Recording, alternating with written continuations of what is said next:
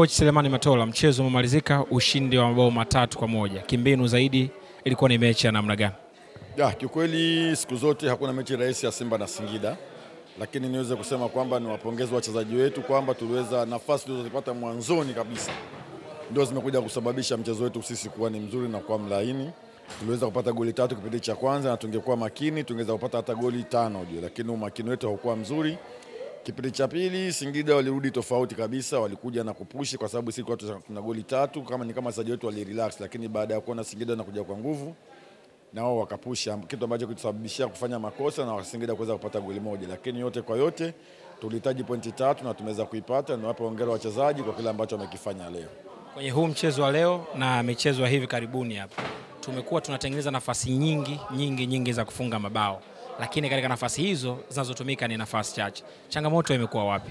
Ya, ni kweli tumeliona hilo na sio kwenye nafasi tu, lakini ukiangalia katika game tatu hizi tumeweza kuruhusu karibuni kila mechi goli. Kwa hiyo tuna kazi ya kufanya kwenye uwanja wa mazoezi, kutengeneza nafasi, kuwa magoli, lakini vile vile kuweza kucheza bila kuweza kuruhusu goli. Kwa hiyo mimi nafikiri ni makosa yameonekana kabisa. Kwa hiyo tuna kazi ya kurudi uwanja mazoezi na kuweza kufanyia kazi haya makosa ambayo yanaonekana.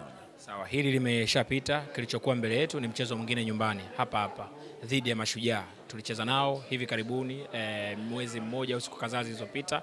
Tunakutana nao tena katika mchezo unaofuata. Pengine utakuwa ni mechi ya namna gani na maandalizi kiujumla, kama ameshaanza kuelekea kwenye huo mchezo?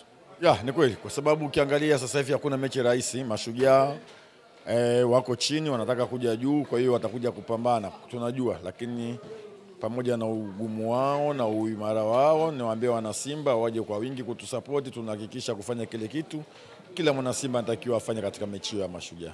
Sawa, walau kama utakuwa na majibu, usipokuwa na majibu sawa. Ulipata nafasi ya kuangalia draw ya CAF? Ya, nime, nimeangalia mwanzo mpaka mwisho. Umewasiliana labda na wenzako wa benchi la ufundi na pengine labda nini ambacho mmezungumza lao kwa uchache kidogo? Ya, na nashukuru wengine, wengine tulikuwa tukiangalia nao, lakini baada baada ya draw tuliweza kuwasiliana nao na tukaona kabisa tumeangukia, tumeangukia kwa Mwarabu. E, nafikiri kwamba kwetu sisi Mwarabu tumekuwa tukicheza naye mara kwa mara zaidi ya miaka mitatu minne, tumekuwa tukiona naye. Kwa hiyo ni mtu ambaye tunafahamiana, wao wanatufahamu na sisi wanatufahamu. Mechi itakuwa ngumu kwa sababu tunakutana na watu ambao tunafahamiana, lakini kwetu sisi ni jinsi gani ya kuzichanga karata zetu, kwa sababu ni mtu ambaye tunakutana na mtu ambaye tunamwelewa kama ambavyo ilivyokuwa katika mechi iliyopita ya Super 8 kama tungezichanga karata vizuri tulikuwa tunapita. Kwa hiyo mimi nafikiri sasa ni muda hasa wa kuzichanga vizuri karata zetu na kuweza kusonga katika hatua inayofuata. Mashabiki wa Simba baada ya kuona Al Ahly wanachinja, kwa nini Matola? Uh, mimi nafikiri mashabiki wa Simba wana hamu ya kuweza sisi kuweza kufanya vizuri katika game ya Al Ahly.